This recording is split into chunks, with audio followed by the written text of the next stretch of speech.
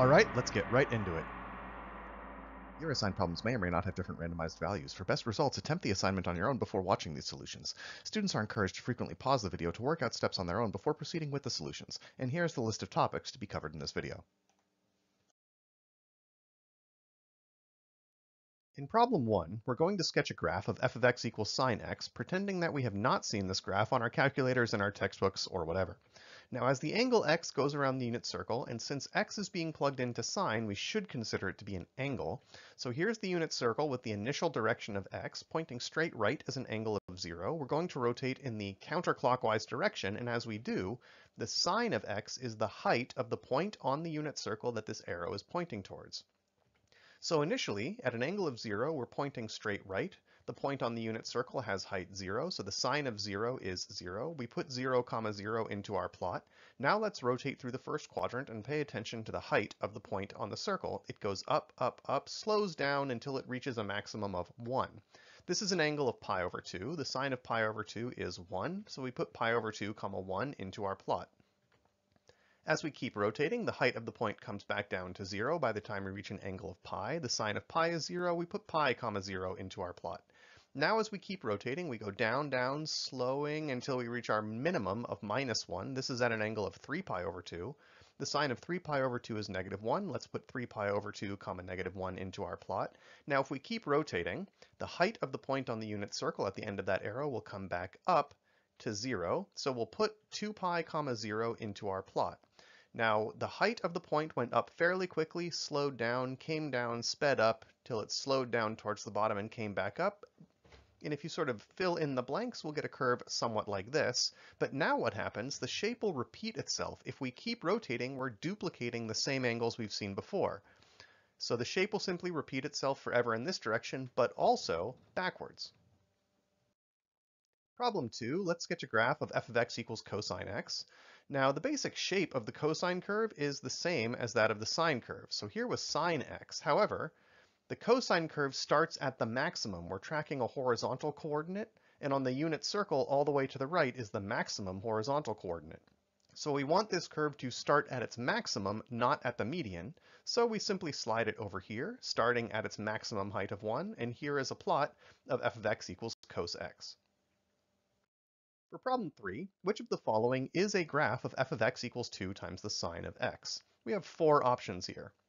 Now the sine curve by default reaches a maximum and minimum of plus and minus 1 respectively, but this is being multiplied by 2. Whatever the sine of x is, it's being multiplied by 2. So we expect the maximum value to be 2 and the minimum to be minus 2. Can't be this, the max and min are 1 and minus 1 respectively. Can't be this, the max and min are plus or minus 4. Both of the remaining curves has a max and min of plus or minus 2. But the sine of 0 is 0. We saw that in, back in problem 1. So when x is equal to 0, we get 2 times the sine of 0. 2 times 0, that's just 0. So we're looking for an intercept of 0, and this graph here has an intercept of 2. So the only remaining option is the one in the bottom right. In problem 4, which of the following is a graph of y equals negative 3 cos x? We have four options again. So the cosine curve by default reaches a max and min of plus or minus 1. This is being multiplied by minus 3, so when the original cosine reaches its maximum of 1, this reaches its minimum of minus 3. And similarly, when the cosine curve reaches its minimum of minus 1, this will reach its maximum of 3, but still, the max and min are plus or minus 3. This curve here goes up and down to plus or minus 4, that's too big. All the remaining curves, however, go between plus or minus 3. The cosine of 0 is 1, so f of 0, negative 3 times 1, would be minus 3, so we're looking for an intercept of negative 3. This one has an intercept of 0, this one has an intercept of positive 3. Those can't be correct. The only remaining option is the one in the upper left. For problem 5, we're given a graph. We're going to determine the amplitude, midline, and period of the function, and I usually refer to the midline as the median value. So these are the things we need to find. Now to find the amplitude, we notice that there is a maximum value of 3 here and a minimum value of negative 7 here. So the distance between these two things is 10. What's half the distance from the max to the min? That would be 5. That's our amplitude. Next, what's the period? We find one occurrence of a maximum appears to be here at x equals a half. Where's the next maximum? Not just any other maximum, but specifically the next one appears to be here at about 2.5 or 5 halves. What's the distance from 1 half to 5 halves? Exactly 2, so that is how long it takes the curve to repeat itself, 2. And finally, let's find the midline or median. All we have to do is average the maximum and minimum values and we end up with minus 2. Next, let's sketch a graph of the function f of x equals negative 3 times the sine of pi over 2x minus 2. The minus 2 gives us our median value. The absolute value of minus 3 out in front, or 3, is our amplitude. So from our median of minus 2, if we go up 3 units, there's our maximum of 1. And from the median, if we go down 3 units, there's our minimum of minus 5. 2 pi divided by this, pi over 2, represents our period. That's 4. There's no horizontal shift present, so starting at x equals 0, we have a period of 4, so every 4 units we're going to repeat. So now we have a bunch of guidelines representing periods of the function, but also the maximum, median, and minimum values it will take. I then like to mark off quarter periods within one of these periods. So the period was length 4, a quarter of that is 1. So within one of our periods, I'm going to mark off segments of width 1. These represent a single quadrant worth of movement. We have a negative number times a sine function. The sine function begins at its median and then goes up, but since we have this vertical reflection, we're going to start at our median and go down. So let's fill in one period, starting at x equals 0 and the median value of minus 2. In the first quadrant, we go down to the minimum, then in the next quadrant, come back to the median, then go up to the maximum, and then finally back down to the median. So here is one period of the function. All we need to do is take this shape and repeat it as needed. There we have it. In problem 7, let's sketch a graph of the function 2 times the cosine of 1 half x. There is a median of 0, there's nothing hanging off to the right. We have an amplitude of 2, so the maximum will be at 2 and the minimum will be at minus 2. The period computes out to 4 pi. There's no horizontal shift, so we mark off some guidelines representing full periods of the function. Now the period is 4 pi, which means a quarter period is pi, so I mark off some segments of width pi. We have a positive cosine shape that starts at its maximum. So we fill in one period, we head to our median, down to our minimum, back to our median, back up to our maximum. The shape looks like this, and we repeat it as necessary to complete the diagram.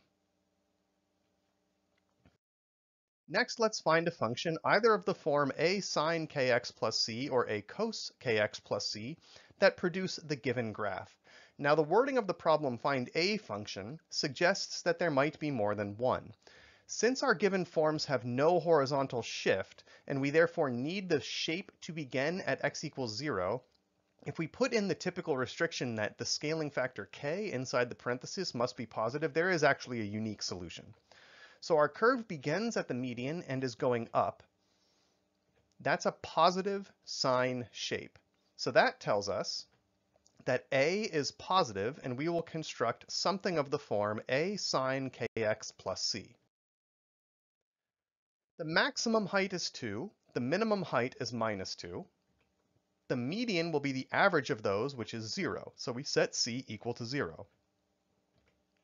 The amplitude is the distance from the median to either max or min, and either one of those will compute out to 2. So the amplitude is 2. That's the absolute value of A. But we already knew A was positive, so what's a positive number whose absolute value is 2? Just 2. So we have 2 sine something times x plus 0. K is related to the period, so let's try to find the period. Finding points on this graph that are easily identifiable is kind of tricky. These were randomly generated and the number that was picked here for the period isn't doing us a whole lot of favors. Now the origin is pretty straightforward. However, the next one that looks most obvious is this median, which is a quarter of the way between 2 pi and 3 pi. So a quarter pi, in addition to 2 pi, is 9 pi over 4. So we're looking for a function of the form 2 times the sine of kx plus 0, and we've identified that 9 pi over 4 is the distance between two consecutive medians. That's not the period, that's half the period. So 9 pi over 2 is the period. So 2 pi over k should produce the result 9 pi over 2. Solving for k, we get 4 ninths. So y is 2 times the sine of 4 ninths x plus 0. In problem 9, we're going to find a function, either a scalar multiple of sine or cosine, that matches the given graph. We have no horizontal shift and we're starting at our maximum. That's a positive cosine curve. So the maximum height of 4 and the minimum height of minus 8 tell us that their average will be the median. The average of those two values is negative 2. The distance from the median to either one is the amplitude. That works out to be 6. So we're looking for a positive number times cosine, and that amplitude must now be 6. So we're looking for 6 times the cosine of some kx minus 2, the minus 2 being our median. To find k, we need to find the period. So let's find two consecutive maximum values. I picked these at 0 and 10. So the period is 10, meaning 2 pi over k is 10. We solve for k, and it's pi over 5. And this gives us that y must be 6 times the cosine of pi over 5x minus 2. And up to the restriction that k has to be positive, this is the only solution. Problem 10. On the interval from 0 to 2 pi, find which angles are not in the domain of tangent of theta. So tan theta is sine theta over cos theta. Sine theta and cos theta have domain all real values, which means the only restriction to the domain of tangent is that we can't divide by 0. So really the problem is asking, for which theta from 0 to 2 pi is the cosine of theta 0? Let's draw our standard unit circle. Cos theta is the x-coordinate of the point of intersection, so let's draw the line x equals 0. What angles give us cosines of 0? In other words, what angles point on the unit circle to where this vertical line intersects the circle? There's two points of intersection at 0, 1 and 0, minus 1. The first one corresponds to an angle of pi over 2, and the latter to an angle of minus pi over 2. However, we were instructed that our answers should be in the interval from 0 to 2 pi. So instead of minus pi over 2, let's replace it with the coterminal angle 3 pi over 2. So the angles from 0 to 2 pi not in the domain of tangent are pi over 2 and 3 pi over 2. Problem 11. What's the graph of f of x equals 4 times the tangent of pi over 4x? We have two options here. Now both graphs have the correct intercept of 0, 0, and they also have the correct period of 4. However, if x increases from 0 to a small positive angle, sine and cosine will both be positive, meaning tangent will be positive for small positive values of x. So it's not this one.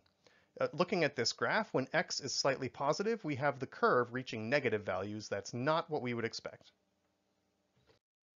Problem 12, which is the graph of f of x equals 3 times the tangent of pi over 4x minus 2. And again, we have two options here. Both graphs have the correct intercept of 0 minus 2, and they both have the correct period of 4. For small positive x's, however, tangent is positive. It is increasing from its 0 when x is 0. So if x becomes slightly positive, we're expecting this graph to go up a little bit, which is not this one, therefore it's the graph on the right.